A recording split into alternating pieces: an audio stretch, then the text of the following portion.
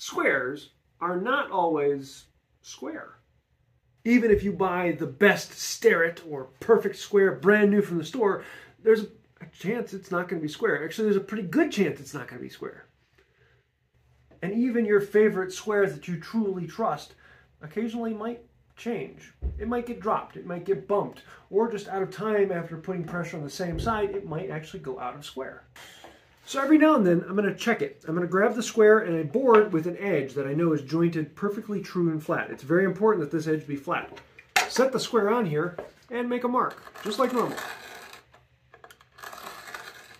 Then take your square and flip it over. And in this case, we can put it right up next to that line, and you can see it's a little ways away from the line here, and back here I'm touching the line. That means that there is a deviation from here to here, and the deviation is half of this distance that it is off.